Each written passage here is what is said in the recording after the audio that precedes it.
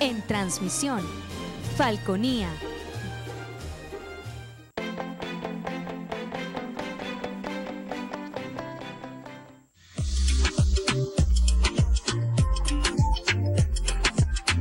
Este programa es de tipo informativo y de opinión, que contiene elementos de lenguaje, salud, sexo y violencia A. Puede ser presenciados por niños, niñas y adolescentes sin la supervisión de sus padres, madres, representantes o responsables. Somos tu canal, somos.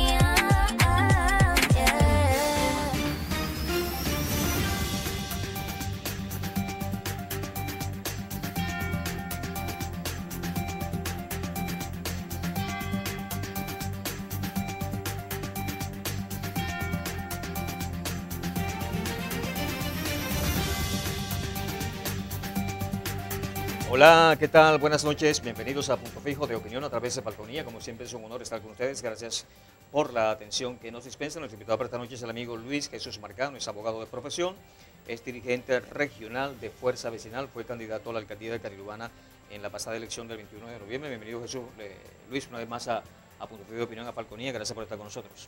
Muchísimas gracias, licenciado. Siempre es un placer venir a compartir en Punto Fijo de Opinión. Eh, aprovecho la oportunidad de saludar a toda la gente que nos ve a través de, los- de las cámaras de Falconía Televisión. Y bueno, siempre eh, con el deseo de traer un mensaje de esperanza y decirle a la gente que todavía queda mucha gente buena trabajando y luchando por este país. Sí, recuerdo que en, en enero, después de la elección, no sé si fue la, creo que fue la primera entrevista que hiciste después de la, elección, hiciste un programa conmigo y yo te preguntaba eh, y me decías que tú en la, en la próxima elección vas a ser candidato a la alcaldía de Carilubana y que vas a ser alcalde. Me comentó en una oportunidad el alcalde, el actual alcalde de Carilubana, Abel Petit, que él, al yo no vi eso ni lo escuché, pero él me dice que al momento de posesionarse como alcalde dijo que él va por la reelección. Entonces, te hago, te reitero la pregunta. ¿Va aspirando Luis eh, Jesús Marcano la alcaldía de Carilubana para el próximo proceso electoral? Mira, Henry, yo ¿Está siento, que, yo siento que no es el momento de hablar del- de las Sí, sí, sí, por candidaturas. supuesto, no es momento, yo pero- creo que hay una prioridad en el país en este momento y es de cara al año 2024. Y en primer lugar, pensando en el año 2023, poder tener un proceso de primarias amplio donde pueda participar el que desee ser presidente de este país y que producto de ese proceso logremos una candidatura unitaria que nos permita ganarle a Maduro en el año 2024. Ok, pero Esa es la prioridad. Pero usted sigue que Y quiere ser mira, alcalde de y estamos enfocados en eso, a nivel organizativo, Ok, está a nivel sí. estructural. Y por supuesto, cuando nos toque una nueva oportunidad, vamos a estar allí. Nosotros, si en algo nos hemos destacado, Henry, es que no aparecemos eh, en los sectores de nuestro municipio Carirubana en tiempos de elecciones. Nosotros permanentemente estamos trabajando en las comunidades, en lo social, en lo político, en lo deportivo, en lo cultural, en lo recreacional, y eso sin duda nos permite eh, bueno, conocer la realidad de nuestra gente, conocer la realidad de los sectores y nos permite seguir construyendo una alternativa de cambio para este municipio carirubana. Ya Carirubana tiene 22 años siendo gobernada prácticamente por el partido de gobierno y sin duda debemos trabajar por un cambio real y verdadero que venga a atender los problemas de la gente y que deje de, deje, digamos, dejemos el discurso a un lado, que venga a traer soluciones. Yo sé que la gran mayoría de los carirubanenses quiere cambio, quiere algo diferente, quiere un gobierno que realmente atienda las necesidades, pero esperemos el tiempo de Dios. Si algo Sí. aprendí, y te lo decía antes de entrar al segmento, es que el tiempo de Dios es perfecto. El año pasado fue una gran experiencia, una experiencia donde maduré mucho, donde aprendí muchísimo, donde sin duda eh, crecí como persona y aquí sigo, haciendo mi trabajo político, haciendo mi trabajo social y siempre ese trabajo va a estar al servicio de la gente. ¿Cómo te sientes en Fuerza Vecinal? Contento, te lo decía también hace un ratico, yo me siento feliz, yo me siento como si estuviera en un proceso electoral, tuviéramos un proceso electoral cercano. Estamos eh, trabajando permanentemente en las comunidades, hemos logrado eh, conformar un gran equipo político en el municipio Carirubana, aunque digamos mis responsabilidades son regionales y también las hemos, la- las hemos atendido porque he estado visitando algunos municipios del estado de Falcón, trabajando en la conformación de nuestras estructuras, captando nuevos líderes, nuevos dirigentes, inclusive eh, concejales activos eh, en diferentes consejos municipales del estado. Y te digo, yo siento que tomé la mejor decisión y se lo compartía al alcalde Gustavo Duque y a nuestro líder nacional David Oscati hace 15 días cuando estuve en la ciudad de Caracas. Luego de siete meses de militar por primera vez en un partido, porque primera vez que estoy militando en un partido y lo es Fuerza Vecinal, yo les puedo decir que estoy en el camino correcto.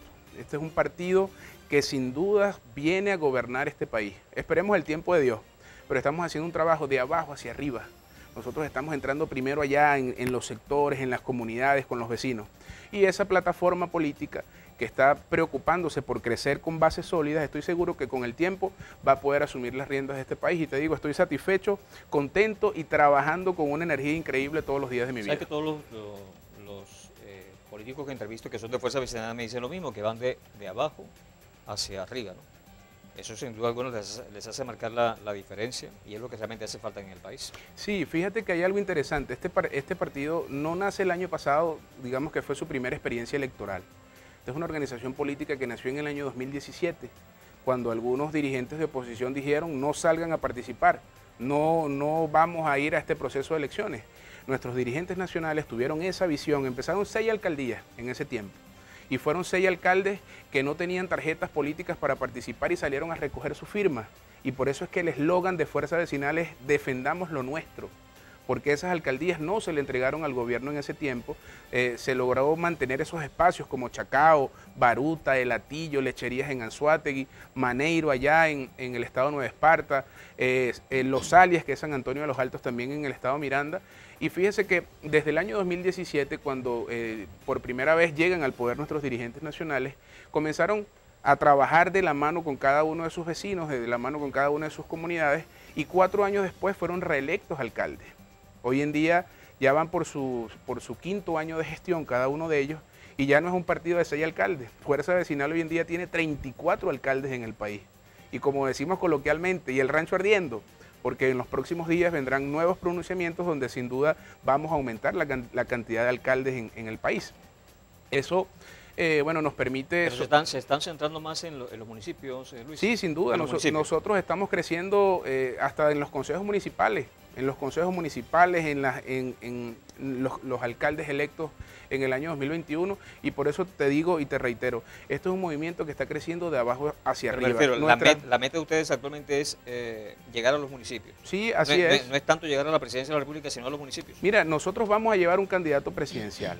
Eh, A la- van a las primarias. Sí, sin duda. Primero vamos a participar en primarias y es- son unas primarias que no es que las estamos utilizando por conveniencia, porque ahora en este año, eh, como el país sabe que la única manera de poder derrotar al gobierno es a través de un proceso primario, entonces muchos hablan de primarias. Pero desde el año pasado se venía hablando de primarias, inclusive el más claro ejemplo es el Estado Miranda, donde la primera opción la tenía nuestro líder nacional David Uzcategui, y lamentablemente no se reconoció esa primera opción. Inclusive no se fue a primarias, tampoco se respetaron las encuestas supervisadas y nosotros prácticamente le regalamos al gobierno esa, eh, gobernación tan importante.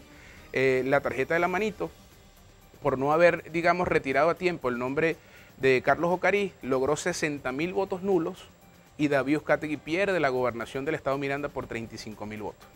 Entonces, eh, fíjese eh, la coherencia que han venido teniendo nuestros líderes nacionales en el tema de las elecciones primarias y hoy en día pues ratificamos que, bueno, hemos levantado la bandera del proceso primario para elegir una candidatura unitaria y no única. Y eso es importante que se lo digamos Sí. a la gente. En el caso de, de- de ustedes, Fuerza Vecinal, no son parte de la plataforma unitaria. No, Pero, sí, pero van en el proceso de primarias. Así es, así es. Y, y hemos venido hablando de primarias desde hace mucho tiempo. Te decía que eh, es importante que nuestra gente sepa que no vamos a lograr candidaturas únicas, sí vamos a lograr un candidato unitario. Ya se habla de una fecha, una fecha probable que es el 25 de junio del año 2022. Nosotros vamos a, presentar a nuestro candidato, a nuestro abanderado, con el favor de Dios en el mes de enero. Y a partir de ese momento, bueno, comenzaremos a hacer nuestro trabajo político para que nuestro abanderado sea el próximo eh, abanderado de la oposición venezolana, pero siempre le decimos algo a nuestra gente. En el dado caso que nuestro abanderado no sea el que represente, eh, digamos, eh, eh, los factores democráticos de este país, sin duda nosotros vamos a apoyar al que quede y vamos a salir a trabajar. Mire, vamos a dejar, mire, el pellejo en el asfalto para lograr que ese candidato que salga de ese proceso primario sea el próximo presidente de este país. Nosotros no estamos comprometidos ni estamos obsesionados con un candidato. Nosotros creemos en la unidad y sabemos que es la única ruta segura a través de la cual nosotros podemos lograr un cambio político en este país y que por supuesto vengan cosas buenas para Venezuela que la hemos estado esperando en los últimos años, pero que lamentablemente con un gobierno que está divorciado completamente de los problemas de la gente no lo vamos a poder ¿por qué lograr. ustedes no han definido su, su candidato a las primarias? Mira, yo siento que... eh, es decir, primero justicia anda en la misma misma tónica, ¿no? están como que tranquilos en ese sentido. Mira, yo siento que no hay apuro. Eh, Fuerza Vecinal ha dicho y nuestros líderes nacionales en reiteradas ruedas de prensa han establecido que nosotros necesitamos presentarle una propuesta de país a Venezuela. No es solamente lanzar- un candidato y ponerlo a recorrer el país. Nosotros necesitamos decirle a la gente cómo vamos a solucionar sus problemas. Nosotros necesitamos presentarle un proyecto que verdaderamente atienda las necesidades y las problemáticas del país. Por esa razón, eh, estratégicamente, Fuerza Vecinal ha decidido eh, presentar la candidatura para eh, principios del mes del año próximo, del año 2023, y a partir de ese momento, bueno, nos vamos a desplegar en todo el país para llevar un mensaje de transformación, de cambio, con un rostro nuevo, seguramente con un gerente que ha gobernado en los tiempos más difíciles y que seguramente va a ser una gran opción de cara a ese proceso primario. Ok, bien, hacemos el corte comercial. Al regreso continuamos conversando con Luis Jesús Marcano, dirigente regional de Fuerza Vecinal. Este es punto fijo de opinión a través de Falconía. No se aparten, ya regresamos.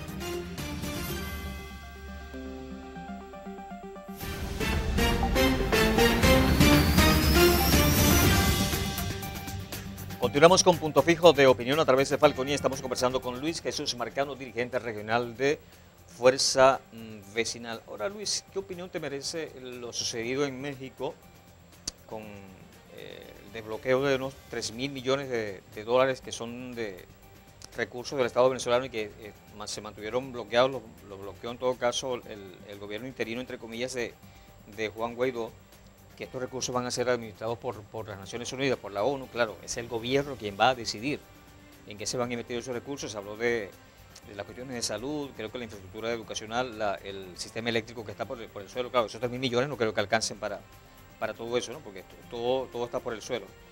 Pero, ¿qué opinión te merece ese, ese primer acuerdo de esa, de esa liberación de esos eh, 3 mil millones de dólares? Pero yo siento que... Aquí, aquí, en todo caso, favorecen al gobierno, Mira, yo siento, favorecen a la oposición, favorecen al pueblo de Venezuela. yo siento que es un avance. Yo siento que es un avance, eh, lo consider- considero inclusive que es positivo, siempre y cuando ese acuerdo político que, al, que, al que se llegó el día 26 de noviembre, Se mantenga. no tanto que se mantenga, que venga a atender los problemas de la gente. Porque Bueno, aquí- ah, en, aquí en- la- bueno, en a- este, en, aquí- este, en este primera, en este segundo acuerdo, que es o sea, acuerdo parcial, aparentemente, o sea, lo que se decidió fue para, para, para lo que no es, no es como anoche escuchaba un programa y decía, no, que, que para las pensiones, pues, no, no, no es, no es para esas cosas. Pero caramba, si te van a mejorar el sistema, parte del sistema de salud, la cuestión del sistema eléctrico que está- en el suelo, la, las infraestructuras educacionales que está en el suelo, caramba. yo, dir- es- yo es para la diría, gente. yo diría, licenciado, que tenemos un país que está en el suelo. Sí, por supuesto. Un Estamos país que está en el de suelo, de destruido, con una administración, bueno, que, que quedará en la historia como la peor administración de- de nuestro país. Y siento que era necesario porque eh, el tema de los servicios públicos debe ser atendido de manera urgente. El tema de la salud, usted no se imagina el trabajo que está pasando nuestra gente. Y no vamos a hablar del país, vamos a hablar del Calle Sierra que he estado en los últimos días acompañando a algunos, a algunas amistades, a algunos promotores que han tenido situaciones de salud y ahí no hay ni siquiera un tubo de sangre, ni siquiera un tubo de sangre hay para ir a tomarle la muestra a un paciente. El paciente llega al calle Sierra, él dice, vaya a comprar el tubo de sangre, viene con el tubo de sangre, le toman la sangre y después le dice no tenemos laboratorio, vaya a una clínica privada y haga los exámenes en esa clínica privada y posteriormente traiga los resultados. Entonces, para volver, para volver al tema de, de ese acuerdo político, yo siento que es necesario, es positivo, siempre y cuando venga a atender los problemas de la gente y que exista transparencia. El pueblo necesita saber en qué se van a invertir los recursos, cuáles son las prioridades que se van a establecer.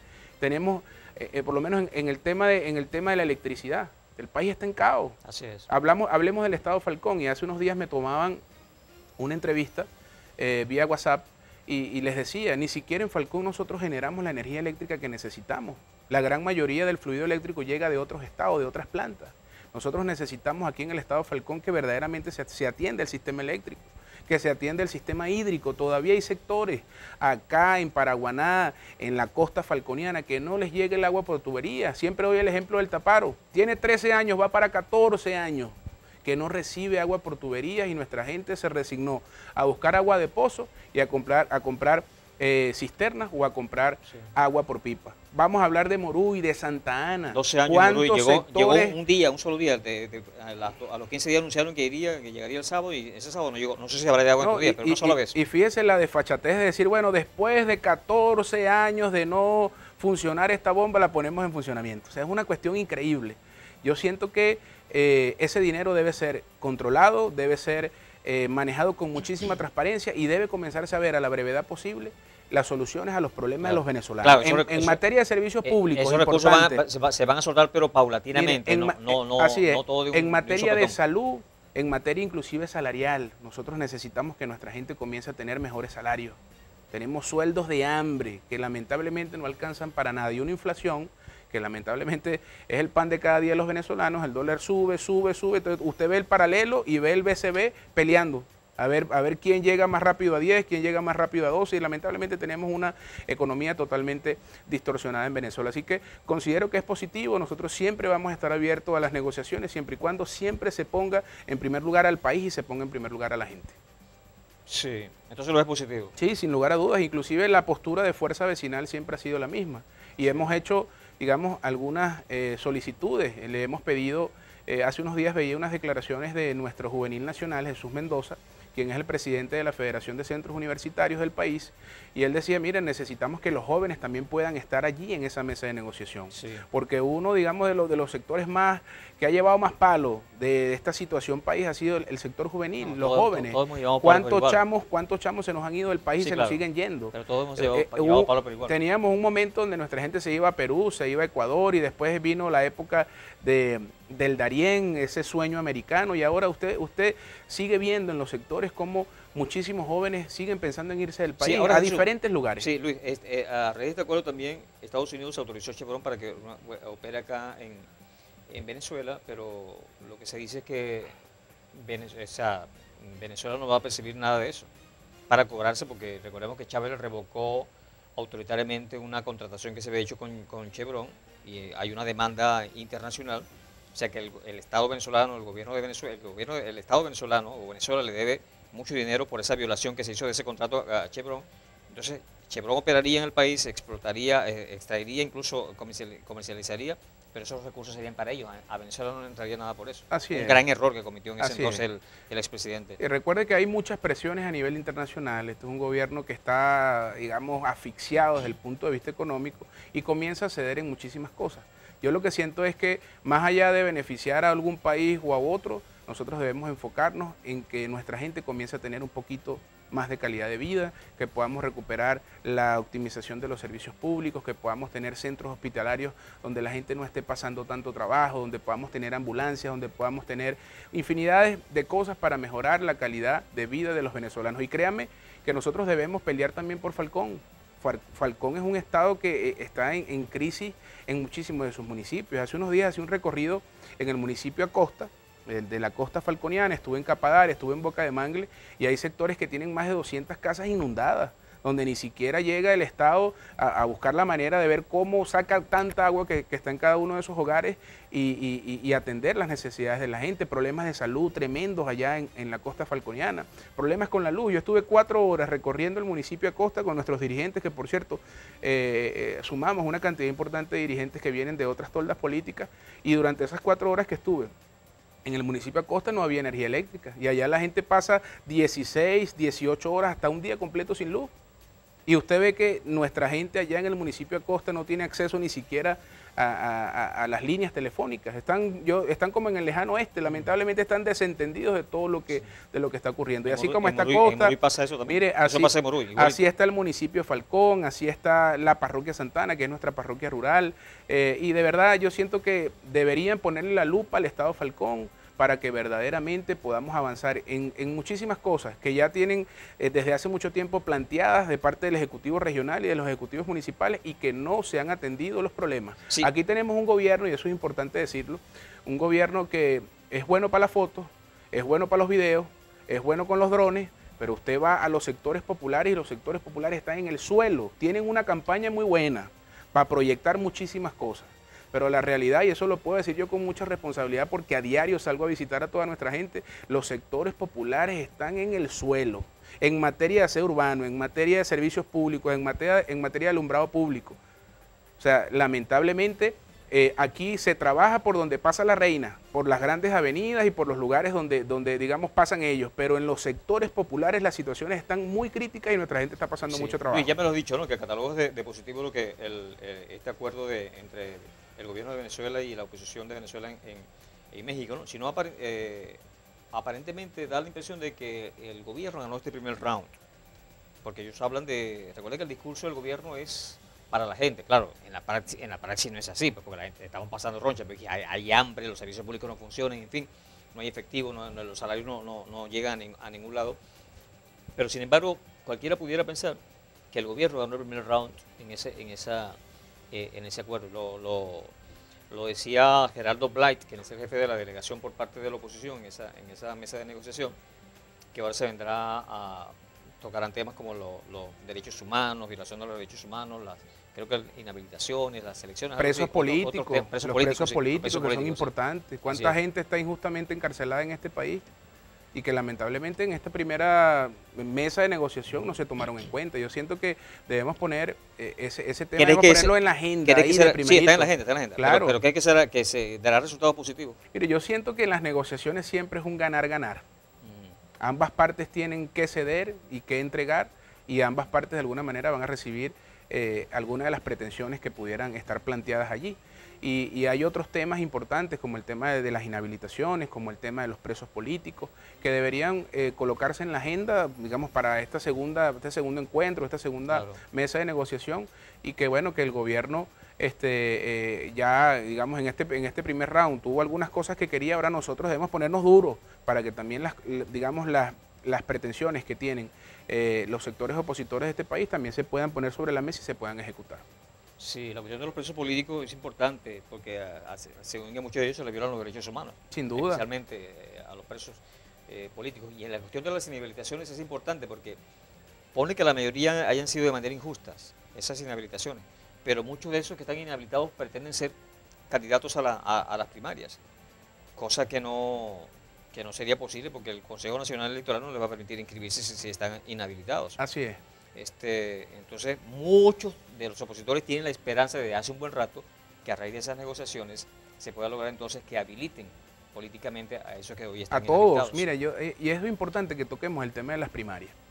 Porque ese proceso primario va a ser la punta de lanza para que nosotros logremos un cambio político estructural en este país. Primero, desde Fuerza Vecinal siempre hemos dicho, no queremos primarias solamente para un sector de la oposición. Nosotros debemos tener la puerta de entrada de esas primarias tiene que ser muchísimo más amplia que la puerta de salida. Nosotros creemos en unas primarias incluyentes, en unas primarias donde todo aquel que tenga el anhelo de asumir las riendas de este país lo haga y que Luis, sean los votos Luis, fuiste los parte, que terminen tú- tú fuiste- definiendo. tú fuiste la parte de la Alianza Democrática en el proceso pasado. Mucha gente de la, de, la, de la plataforma unitaria no quiere que la gente de la Alianza Democrática participe allí o que la mayoría no participe porque son partidos judicializados, que son le hacen el, el juego al gobierno, que son pagados por el gobierno, en fin. Y muchos de ellos de la Alianza Democrática no quieren participar porque la gente de la plataforma unitaria es caca. ¿Qué opinión te merece a ti? ¿Debieran ir todos, eh, confluir todos en, en- esas primarias? Nosotros creemos que todos deben ir a ese proceso primario, sin ningún tipo de limitación. Aquí todos tienen votos, Henry. Y Así todos es, de alguna manera, de alguna manera tienen equipos y tienen estructuras, algunos más que otros. Pero todos esos votos los necesitamos para poder ganar en el año 2024. Si nosotros le decimos a Juan y a Pedro, mire, ustedes no van porque ustedes son feos, ustedes me caen mal y, y a mí no, yo no, yo no convulgo mucho con ustedes. ¿Qué va a hacer Juan y Pedro? Juan y Pedro van y bueno, yo soy candidato presidencial, voy hasta el final y además de eso, bueno, voy a dividir los votos para que termine ganando otra vez nuevamente el gobierno. Por eso es que es importante, es importante que pongamos primero al país. El que tenga los votos en esas primarias para hacer el abanderado, que sea ese, pero que no se le diga a nadie que no. Tú sales ahorita a cualquier lugar de Carirubana y le preguntas a un venezolano, ¿usted quiere cambio? Y el 85% dice, sí quiero cambio.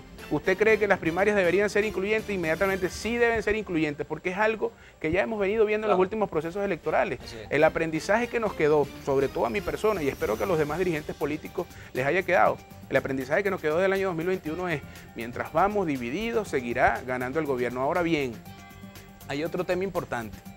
El candidato único no existe. Ok, siempre eso- vamos, siempre eso- vamos a pero- tener... Pero vamos a abordarlo luego del corte. Listo, chévere. el corte comercial de regreso que, que- que tenemos conversando con Luis Jesús Marcano, dirigente regional de Fuerza Vecinal. Este es Punto Fijo de Opinión a través de Falconía. No se aparten, ya regresamos.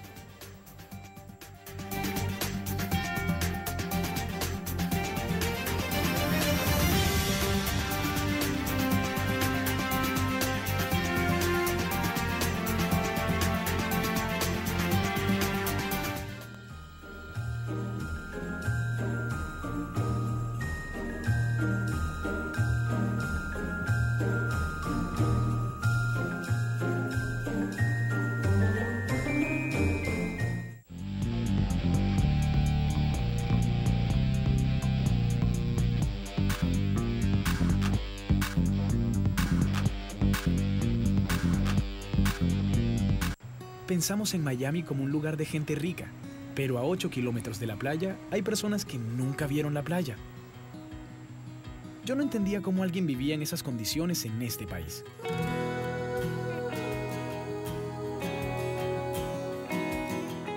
Así que cuando organicé la fundación Joshua's Heart, la idea era dar participación a la mayor cantidad posible de jóvenes.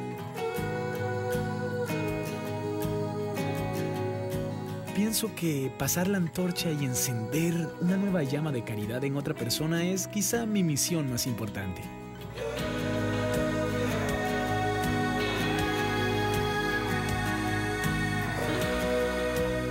Cada uno de nosotros marca una diferencia muy grande. De eso se trata, de contribuir y fomentar la caridad en bien de todos. La caridad está en ti. Averigua más en unavidamejor.org.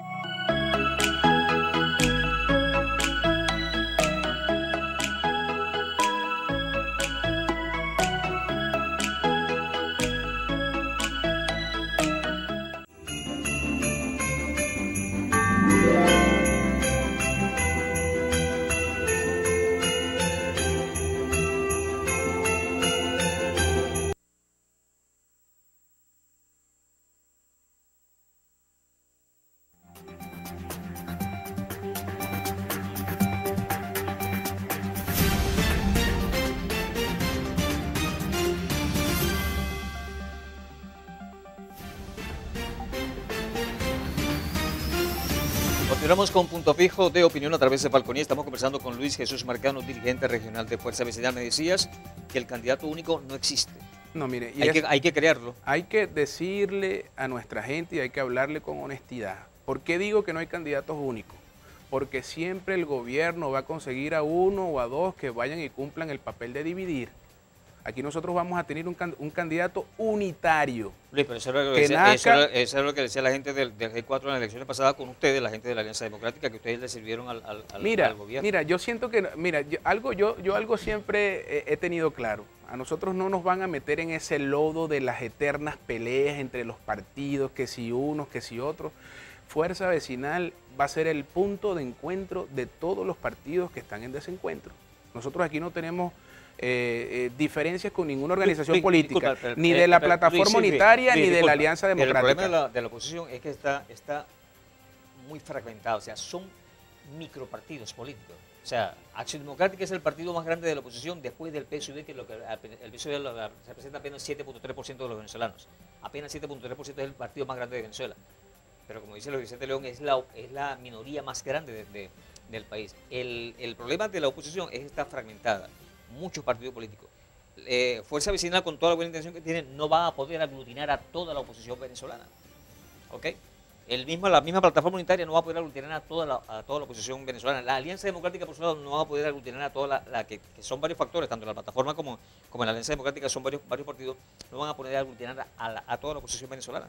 ¿Por qué te digo que somos el punto de encuentro? Porque nosotros mantenemos buenas relaciones con todas las organizaciones políticas, con la plataforma unitaria, con la Alianza Democrática, con los partidos independientes, que también son unos cuantos, que no están, digamos, en, en- en ninguna fracción. El MAS está allí en ese- Así es, entonces yo siento que en este momento todos somos necesarios, Henry. Todos esos votos de cada una de las organizaciones políticas son necesarios para ganarle a Maduro en el 2024. Y eso debemos entenderlo. Aquí basta de, que- de, de- de los egos, aquí basta de que aquel me cae mal. Es el momento de Venezuela. Imagínate que nosotros desaprovechemos esa gran oportunidad que nos está poniendo Dios nuevamente. Lograr unidad de los factores democráticos, ir a un proceso de elección presidencial y ganar ese proceso con contundencia, así como lo hicimos en el año 2015. Imagínate que desaprovechemos esa oportunidad. Van a ser seis años más de tragedia para este país. Creo Por eso es que es importante. Es importante que dejemos a un lado eh, esos problemas, e- e- es- ese facturero de la política que yo le paso factura a fulano o, a- o al otro. Es necesario que pensemos en el país, que vayamos a ese proceso primario eh, incluyente, amplio, y que entendamos, y vuelvo otra vez a lo mismo, que no vamos a poder lograr candidaturas únicas, eso no va a existir. Siempre el gobierno va a tener operadores políticos que vayan a cumplir una función, pero lo que no podemos es señalarlos todavía.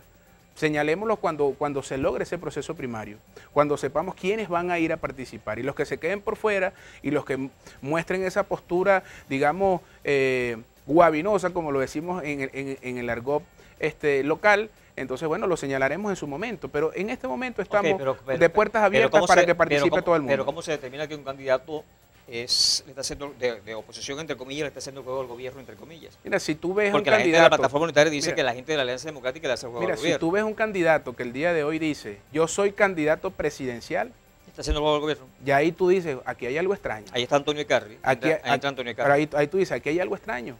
Porque es que sabemos que solos no le vamos a poder ganar al gobierno. Entonces, Así es. a- Ninguno- a- ningún, partido de aquel- oposición, ningún partido de a- oposición le mira, puede ganar hoy en la mañana veía el análisis de uno de, de- de los politólogos más influyentes del país, nuestro amigo Luis Aguilar, quien inclusive estuvo aquí en la ciudad de Punto Fijo dándonos un taller de formación política desde Fuerza Vecinal. Y él decía que ningún partido del país puede cumplir con los 14 mil centros de votación que tiene Venezuela.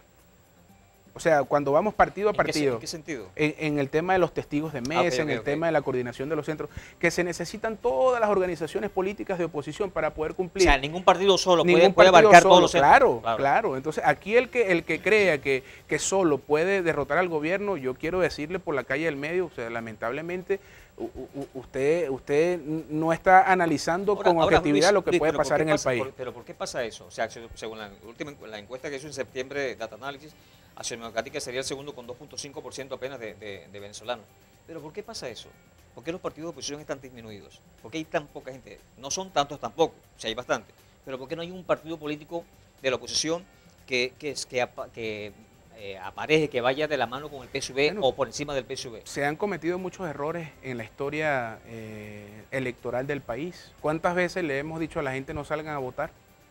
Y después le decimos, bueno, ahora como si vamos, entonces ahora sí los llamamos a votar. Hemos cometido muchos errores como dirigentes políticos en este país. Yo creo que de todos esos errores debemos aprender las lecciones y verdaderamente establecer una conducción política que nos lleve a un nuevo destino. Y un destino donde necesitamos de todos para que podamos tener una Venezuela de oportunidades, una Venezuela de progreso, una Venezuela donde la gente eche para adelante, donde nuestros hijos sí salgan al extranjero, pero a conocer otros países, vayan un rato y regresen nuevamente a esta patria que es la más hermosa que, que Dios nos ha podido dar.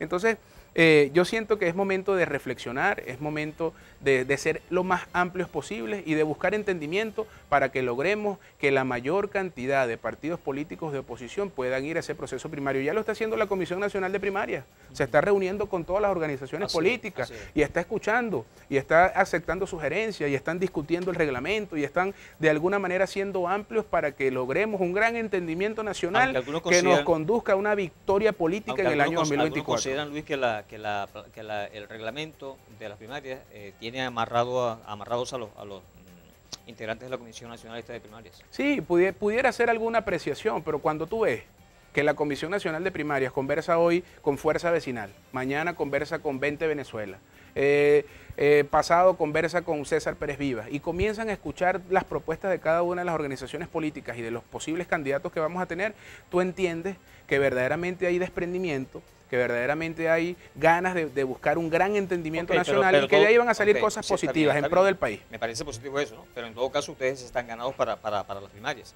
pero con los factores que no están ganados para las primarias. Ejemplo, Eduardo Fernández dice que las primarias van a dividir más al, al- al gobierno, que él está de acuerdo con un consenso. Antonio Ecarri, eh, que tampoco va a tener, que, que, eh, no es que aglutine un montón de, de- de- de votos, pero dice que él, él- él ya es candidato. Eh, la gente de la Alianza Democrática está Bernabé Gutiérrez, que Bernabé Gutiérrez no va a llegar a ningún lado tampoco, ¿no? Este, está Brito, en fin, debieran también tratar de acercarse a Claro, y ellos. con todos esos factores hay que conversar, inclusive Fuerza Vecinal lo ha dicho, y esa es nuestra postura como organización política, hay que conversar con todos.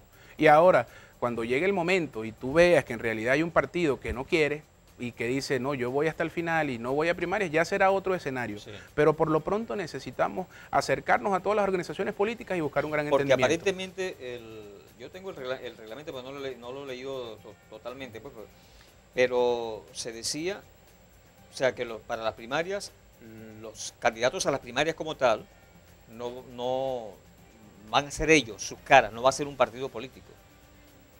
¿Considera que eso es importante? Eso yo creo que es necesario, Ujú. Que sea un, o sea, que sea que estén los nombres de los candidatos, más no Aunque de todas maneras los partidos, ma- van, a, los van colores. partidos van a ir detrás, ¿no? Claro, no, Tratando, bueno, to- cada todas quien. las maquinarias van a trabajar en función de que su candidato sea el abanderado. Pero yo siento que sería positivo que reflejemos en ese tarjetón, en el mecanismo que establezca la Comisión Nacional de Primaria, los nombres de los candidatos y que sea la gente que se identifique con el rostro y con el nombre y que en definitiva podamos saber quién va a ser el abanderado. Yo siento que es una oportunidad, Henry, que no debemos desperdiciar, que el país debe estar de primero, que no es el tiempo de, de que sobresalga uno u otro, sea el que sea, que verdaderamente represente los intereses de los venezolanos y que sigamos el gran ejemplo que nos dio Barinas. Fíjate cómo es Dios de bueno. El, el gobierno quiso hacer una cosa y le salió una moriqueta. En Barinas no iba un solo candidato, iban varios. Pero la gente entendió que Sergio Garrido representa- representaba un cambio real y verdadero para Barinas. Y la gente fue, salió a votar con firmeza, logramos recuperar esa, esa gobernación de Barinas y los otros candidatos llegaron detrás de la ambulancia. Porque es que la gente no es tonta, la gente no se va a chupar el dedo para el próximo año. La gente sabe quién es quién y va a salir a votar por un candidato que verdaderamente represente cambio para este país. Ok, bien, hacemos el corte comercial. Al regreso venimos ya con nuestro último segmento conversando con Luis Jesús Marcano, dirigente regional de Fuerza Vecinal. Este es punto fijo de opinión a través de Falconía. No se aparten, ya regresamos.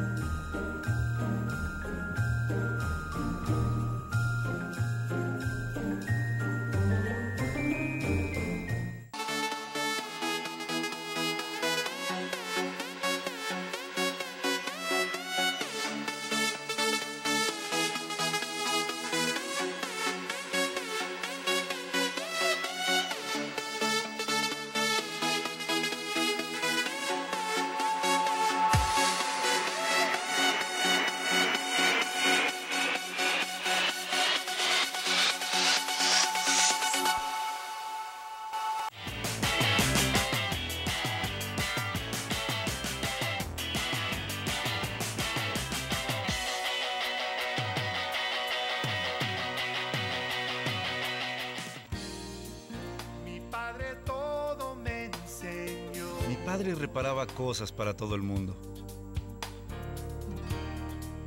Era un ejemplo para mí. ¿Y yo? Bueno, yo solo sostenía la luz.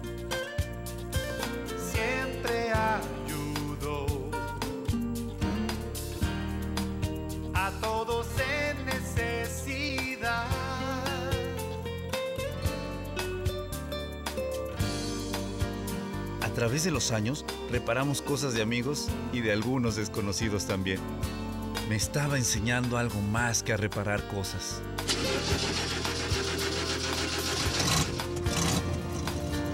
Enseña haciéndolo. Pásala. Con ejemplo enseña. Un mensaje de la Fundación para una vida mejor.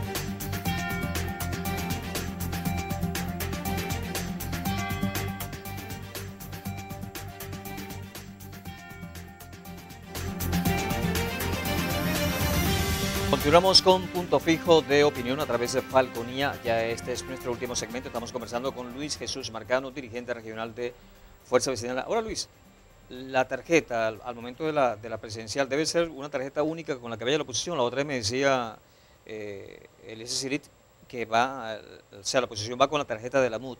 ¿Estarías de acuerdo con eso? Con que sea una Mira, sola tarjeta. eh, yo y, que siento- sea la, y que sea la tarjeta de la MUT. Yo siento que eso es un tema que debemos discutir en la oportunidad que corresponde. Eh, yo también estoy consciente que Fuerza Vecinal eh, no, no estaría en desacuerdo con esa posibilidad, que podamos ir con una sola tarjeta, digamos, que entubemos a la gente por, una, por un solo camino.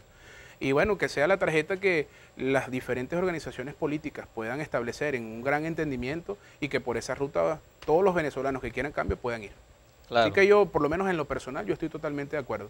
Que sea una, que sea la otra, la que eh, se establezca va a ser la ruta a través de la cual nosotros vamos a entubar a toda nuestra gente para lograr ese cambio en el año 2024. Sí, bueno, Luis, todo el mundo lo sabe, lo dijimos al principio del programa, pero todo el mundo lo sabe. Tú fuiste candidato a la alcaldía del Carril Urbana, no, no, no pudiste llegar en esta oportunidad. ¿Qué evaluación haces del municipio hoy en día? Mira, en este año 2022 yo he tenido eh, bastantes entrevistas, he estado compartiendo con diferentes eh, periodistas en, en diferentes programas y siempre esa es una pregunta obligada, ¿cómo ves la cosa? Y yo siempre he dicho, vamos a, vamos a esperar el primer año de gestión, vamos a ver cómo caminan las cosas en este primer año. Yo te puedo decir que de los tres últimos alcaldes que han pasado por Carirubán en estos últimos veintitantos años, esta ha sido la peor gestión en el primer año de gestión. Esta ha sido la peor gestión en el primer año de mandato. Tenemos un municipio destruido. Todavía no le vemos el queso a la tostada al gobierno municipal de Carirubana. Seguimos teniendo, y yo creo que en este momento, licenciado, tenemos más problemas que el año pasado. Pero, pero habrá un municipio en Venezuela que, que, que haya surgido, porque recuerda que estamos en una crisis, eh, no solamente política, una crisis económica. Sí, pero ¿hasta cuándo le vamos a seguir echando eh, eh, la culpa a la crisis? Cuando tú estás gerenciando un municipio, tú tienes que buscar los mecanismos a través de los cuales soluciones los problemas de la gente. Y este gobierno lo tiene todo. Ejemplo, los, alcal- los alcaldes de Fuerza Vecinal, los alcaldes de Fuerza Vecinal, lo están haciendo bien en el- eh, este año de gestión, lo, Excelente, hicieron bien. Y, y ya vamos a hablar de eso. Mira, aquí tienen el Consejo Municipal, tienen la alcaldía, tienen el Consejo Legislativo, tienen la gobernación, tienen el Gobierno Nacional con todos los ministerios. Los diputados de la Asamblea Nacional. O sea, tienen la Asamblea Nacional con una mayoría, bueno, eh, impresionante. Y vamos a seguirle echando eh, la culpa a la crisis, licenciado. O sea, nunca vamos a asumir que lamentablemente han sido incapaces, que han sido incompetentes, que inclusive son indolentes, porque pareciera que no les doliera a nuestro pueblo. Carirubán está en el suelo. Ni siquiera los semáforos funcionan aquí. Salga usted, eh, un recorrido de unos 10 minutos y dése cuenta la cantidad de semáforos que no funcionan en el municipio. Bueno, el alcalde me dijo la otra vez que iba a poner, que iba a instalar este, semáforos inteligentes. Bueno, eh, lo- eh, seguiremos esperando los semáforos inteligentes, porque es que los semáforos que tenemos hoy en día, eh, en, en su gran mayoría, lamentablemente no están funcionando. Seguimos teniendo problemas con las cloacas. Siguen esperando muchos sectores del municipio las bombas. ¿Y, y dónde están las bombas que no llegan? Ahí está el estadio de, de- de la Guadalupana en Las Piedras. Toda, toda, toda el agua servida de la parte final de las piedras desemboca en el estadio. Eso es una cuestión impresionante. Y, y- y- y no hay una política que verdaderamente vaya y acompañe a la gente, sino que dice, no, eso es culpa de Hidrofalcón. Mire, compañero, eh, aunque no sea una competencia directa, es de su incumbencia. Y la autoridad municipal tiene que ir a atender los problemas. Los sectores como están oscuros. Hace unos días hicimos un cine vecinal en Andrés Eloy Blanco, en la calle arriba. Y no había un solo bombillo en los postes de, de- de esa calle, de, o sea, de la calle arriba. O sea, el alumbrado público en el suelo. El cuerpo de bomberos. Si nosotros para esta contingencia, digamos, de, de lluvia, fuéramos tenido un cuerpo de bomberos bien dotado, pudiéramos solucionar los problemas en, un tiempo un poco más, más rápido, fuera sido más eficaz la atención de nuestro cuerpo de bomberos. Pero lamentablemente no se ha invertido tampoco en el cuerpo de bomberos. Entonces, cuando usted comienza a evaluar el IMACEO, ¿cómo va a ser posible que después de un año de gestión, ya en muchos sectores la basura no la recogen una vez a la semana, sino la recogen cada 15 días. Y usted comienza a ver en muchas partes del municipio eh, esos montones de basura porque la gente está colapsando también con el tema de la basura. Ve- vaya a Tiguadare. ¿Qué política se ha desarrollado en Tiguadare con el tema de la basura? Ninguna. Allá los camiones van y echan la basura en cualquier lugar y hay una, cantidad de, de- personas que conviven allí que son los que de alguna manera clasifican y los que de alguna manera son lo- lo- los que seleccionan ¿no? los desechos sólidos del municipio. Entonces, lamentablemente, eh, eh, yo quiero decir, y lo digo por la calle del medio, esta ha sido la peor gestión de los últimos tres alcaldes que ha tenido el municipio en, el- en este primer año de gestión. Y nosotros estamos eh, recorriendo el municipio, estamos evaluando cómo están las cosas, las instalaciones deportivas en el suelo, los estadios, las canchas techadas del municipio. Se la está llevando la sal por falta de mantenimiento. Están sin techo. Las láminas que, que están, digamos, en, en la parte del techo, bueno, se las ha llevado la brisa o, o se la han robado, la misma delincuencia se ha apoderado de ellas. Entonces, ha sido un año de gestión muy discreto, un primer año, de gestión donde todavía no se le ve el queso a la tostada y un primer año de gestión donde la gente, la gente dice, seguimos viviendo más de lo mismo. Ahora, Luis, si el alcalde Abel Petito está viendo el programa o algún seguidor del alcalde Abel Petito de, o de Chavismo está viendo el programa y dirán, bueno, si tú hubieses sido electo alcalde, estarías en las mismas o peor- en peores condiciones que el actual alcalde. ¿Tu gestión sería la misma?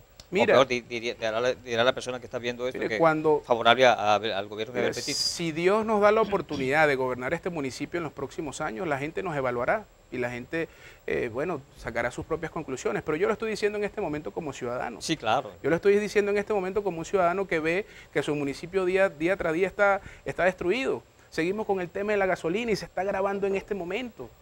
Usted ve que nuestra gente pasa toda la madrugada, pasa toda la mañana y pasa de parte de la tarde haciendo cola en las estaciones de servicio porque, bueno, lamentablemente tampoco se ha atendido esa, esa situación teniendo el complejo refinador de Paraguaná aquí Un país- cerquita. país petrolero por Entonces, mire, como eh, yo siempre lo he dicho, aquí pueden cambiar de rostro, pero la política sigue siendo la misma. Esto es un, este es un, un- un- un gobierno que lamentablemente eh, habla de socialismo, habla de igualdad, pero aquí cada día son ellos más ricos y el pueblo cada día es ¿En más qué se pobre. diferencia un gobierno del chavismo con un municipal, un gobierno del chavismo con un gobierno de, de- de municipal de fuerza vecinal? Importantísima esa pregunta. Yo estuve en Chacao hace unos días, estuve en el Atillo hace 15 días, con nuestros alcaldes compartiendo lo que ellos están haciendo. En materia de seguridad, impresionante lo que están haciendo. En materia recreacional, importante lo que están haciendo. En materia de servicios públicos, agua, luz, asfaltado, están atendiendo los problemas de la gente. Y eh, sin duda, y eso lo hablan todos los estudios de opinión, los gobiernos más exitosos del país, eh, en lo que a gobiernos municipales se refiere, son los de fuerza vecinal.